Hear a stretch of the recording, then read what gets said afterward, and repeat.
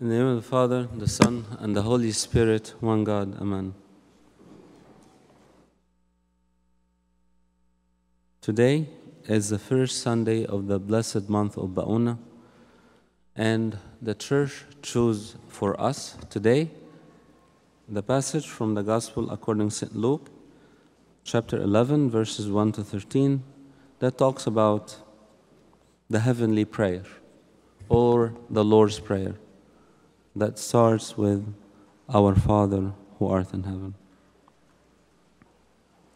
There are many articles and many sermons um, talking about Our Father who art in heaven, the Lord's Prayer.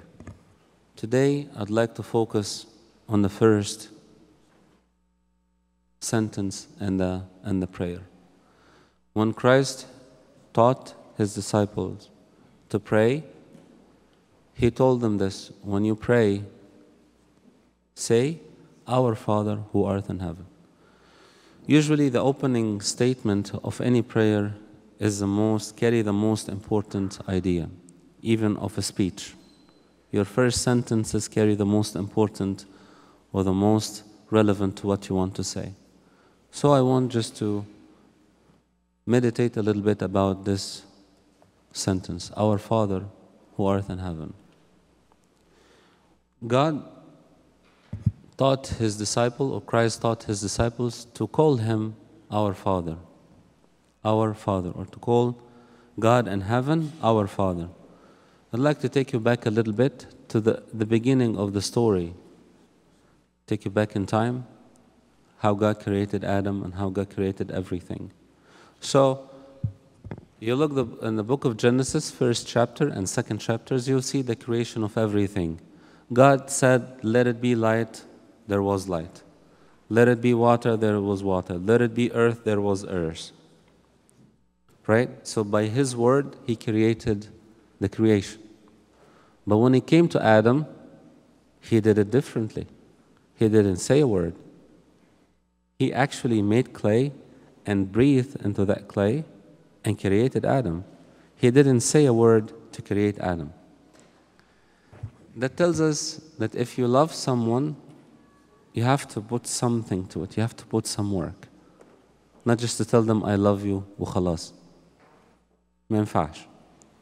So God created Adam in a very specific way and also a very unique way. Nothing else in the whole creation was created this manner. Only Adam was created this way. It's as if he's telling him, I'm giving you something special because I will call you my son. I'll consider you my son. Keep that in mind because this will help us understand why God left his glory in heaven and took body like ours and came and to save us because we hold a very special place in his heart so he created Adam and he planted a garden for him. Again, could have simply just said a word that the garden be there and it would be there. If you read Genesis second chapter and reread the creation of Adam and the place that God created for Adam to live in, you will see how much work God put in there, not just a word, but He actually the Bible explains how he did it, right? So he planted a garden for Adam. It's like when you, when you want to, uh, when you love your children so much and you want to um, leave them, I'll give them something special. Like you can go to the store and buy them a toy, right? That's easy. You can give them a gift card and ask them to buy what they like. Again, that's easy. But when you make their own toy, or when you when you paint their own room, when you decorate their own room with your own hands for them, that tells how much love you have toward them. God did the same thing with Adam. He planted garden specifically for him. And this garden, Adam lived in the Garden of Eden and he ate from it. So it was a shelter for Adam, his home where he lived, and it was food supply. But that was not it.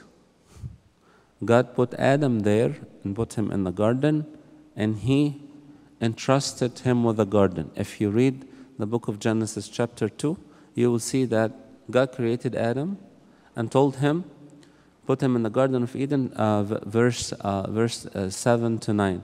And he put him in the Garden of Eden to tend it and to keep it.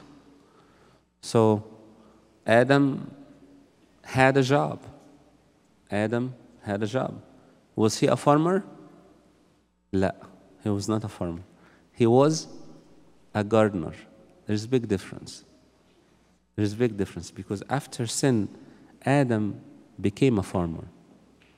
Not that I have anything against farmers, but I'm telling you that um, his first job, Adam's first job, was a gardener, to tend and to keep the garden. Did he have to work to eat? No, but he had a job. Meaning, Adam was not created without purpose, he was given something to do. Now, why I'm saying this? Why is it? Why am I stating this? Because it has applications to our lives. It's not healthy for the kids to spend the summer vacation without certain tasks, certain jobs, something to do. You don't delegate certain jobs to them or certain tasks to them. You don't put responsibilities on them, even if it's something very small. But trust them with something and delegate some task to them, it will give them something to do. It's very important right? God created Adam and he trusted him with a garden to tend it and to keep it. So, what is the difference between gardener and farmer? Did Adam have to irrigate the, the trees? I don't think so. I think rain used to come all the time, right? Point is, before fall or before sin, Adam just used to grab the fruits and eat and eat vegetables. That's his, he didn't have to do anything to eat. He was just taking care of the trees, right, as a gardener, to make it look nice, to cut it, to groom it, right? But after sin, God told him, With the sweat of your forehead you will eat your bread. Because before that, he didn't have to sweat. It was easy. He just, all what he needed to just grab an apple, grab a mango, or whatever, or a big watermelon, and just eat it, right? That was before fall. But after fall, now he had to tell the land he had to cultivate it and he had to irrigate it and wait for it. And, and after all this, it will sprout thorns to him because that's the result of the sin. The, point, the applicable point to our life is that we need to trust our kids with certain tasks. I know that we started already the summer uh, vacations or the holiday, whatever you guys call it, vacation, I think. But and we have three months, right, until maybe late August or something, make sure that you give your kids something to do during the vacation or the holiday. Don't just let them stay there and do nothing. That's dangerous. That's dangerous. Teach them how to be responsible. The other point is when God put Adam to tend the Garden of Eden, he, that was the first commandment, by the way. If you read the book of Genesis, chapter 2, verse 7 to 9, he put it there to tend it and keep it. So he gave, them, he gave him a commandment. That was before even the commandment of eating of the tree. So he gave him rules on how to do things. When you give your kids certain tasks to do, you, I'm sure you can figure a thousand things that you can give to your kids. If they're old enough that they can hold dishes, and if you don't use your dishwasher that often, teach them how to wash dishes. Give them directions on how to do it. Encourage them, praise them, but also hold them accountable if they don't do the, get the job done. Again, that's responsibility. And in the meantime, teach them to obey. You give them rules and you teach them to obey. Obedience is crucial in life. Obedience is crucial in life most, um, most people who, was, who were not taught how to obey rules, they became very either not successful in their lives or they became criminals because they, they're not used to follow rules. They're against the rules. Teach them obedience to be successful and to be good citizens and to be good Christians too, because this is our purpose. But before we teach them how to obey, we need to do something very valuable to them. God created Adam and used to talk to him all the time, spend time with him. So, before you give them orders or rules to follow, make sure you spend time with them. Because the word, I, I think I, uh, I said this before, but it's, it's, it touched me so hard that, that it cannot go away. The word love is spelled T I M E. Did you hear that before? The word love is spelled T I M E. You love me, you spend time with me. Okay? You cannot just say, I love you without doing anything. Then the word love doesn't have any meaning, right? So the word love means, or spelled T I M E, means spend time with your kids, and when you work on that relationship with them, I assure you they will listen to you. They will love spending time with you, and they will be um, concerned not to make you mad or not to upset you because they like you, they love you, they want to spend time with you. So they care about your own feelings. And this is what we call personal relationship. God had that relationship with Adam. He loved him.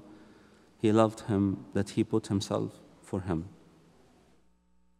Another part of the gospel that I want to um, look at, or I find it relevant to the, to the message today that our Father who art in heaven, is that um,